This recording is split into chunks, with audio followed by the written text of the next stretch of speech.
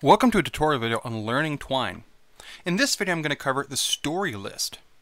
When you're using Twine, when you first open it, you view this, the list of stories. At this point in this example, I have only a single story and it tells me I have one story. If I had more, it would tell me I had multiple stories, and I'd also be able to, moving across from left to right, sort them. I can either sort them by edit date, the least, the most recent versus the least recent, and also my name, in this case, alphabetically A to Z, or if I click it, Z to A. It's the same with edit date. I can change this back and forth and change this back and forth. Although there's only one story currently, so the sorting possibilities are very slim at the moment. Over on the right hand side, there are numerous different options that are also shown as part of the story list. We can add stories, the plus story button. We can also import from file. If there's a previously published file or Twine archive collection of files, we can import those into both the online, what I'm currently showing, as well as the desktop versions of Twine.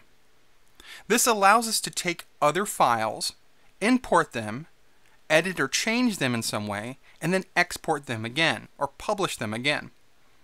This is one way to allow collaboration using Twine, where one author can work on a file, send it to another author, who can then import it, change it, and then publish it and send it back. So collaboration allows through both importing and publishing files. Underneath that is the archive.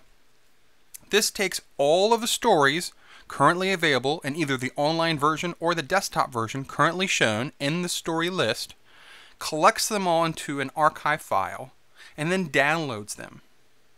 This allows us to, as previously talked about with importing, import all of the stories again.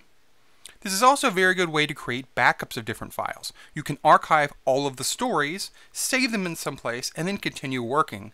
If anything happens to the online version or a desktop version, or you have to move between computers, the archive of all the stories will allow you to keep that backup. Underneath that is formats. What this means is story formats. As you can see, in this current version of Twine 2.2.1, there are currently several different default story formats that come with this version of Twine. I have Harlowe 2.1, Harlowe 1.2.4, Snowman 1.3, SugarCube 2.21.0, and SugarCube 1.0.35. Each of these are, in the cases of Harlowe and SugarCube, different branches of the same story format, each of which has slightly different functionality. But I can choose them here by selecting one of these as used the default. That is, when I create a story, it will then become the default story format.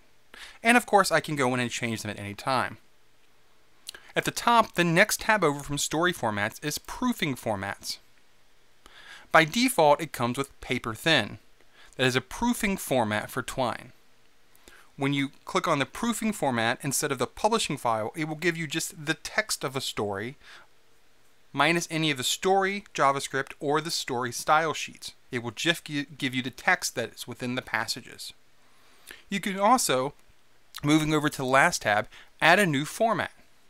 If you come across a story format online or one recommended from people or one you really like, you can import that format and use it within your stories in the online version that I'm showing here, as well as the desktop version. And there are a few different other story formats that are out there that you might want to use depending on your project.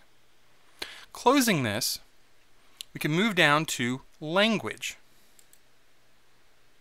Language allows you to use the Twine editor, that is what we're looking at here, in different languages.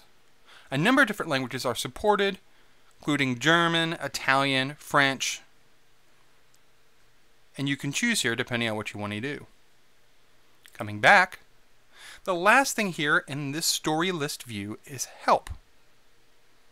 If I click on this, it will send me to the Twine Wiki, which I'm not going to do at this moment, as well as some work that's been done through a number of different collaborators to try to help new users through learning Twine.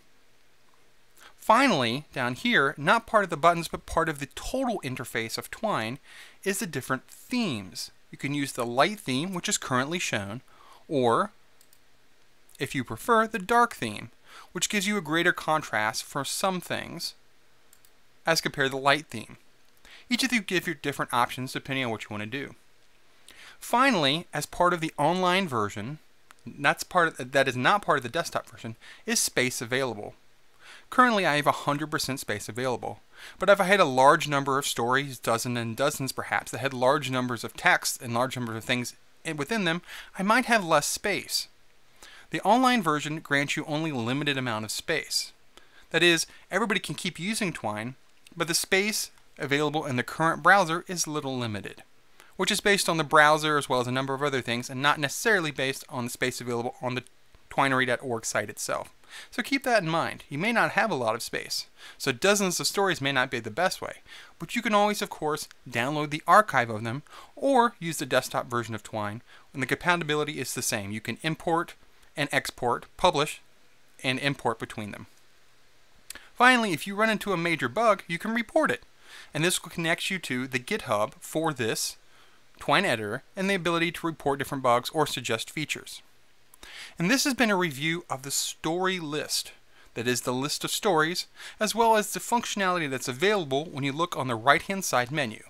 We can add stories, import from file, download all of these in an archive, look at the different story formats as well as add to them, look at the different languages available as well as choose one as the default, be directed to the Twine Wiki to look at some help documents, change the theme back and forth, and, in the online version, look at the available space we're currently using, and finally report a bug if we have it.